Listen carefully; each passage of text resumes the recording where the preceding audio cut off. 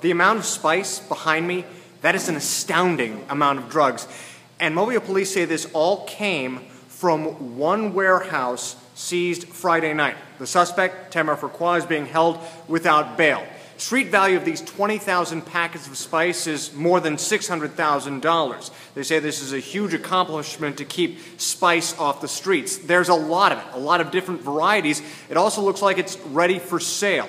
But for Mobile Police to make this bust, it's a huge, huge accomplishment for them to be able to say that they've been able to nab this large an amount of narcotics in one single move.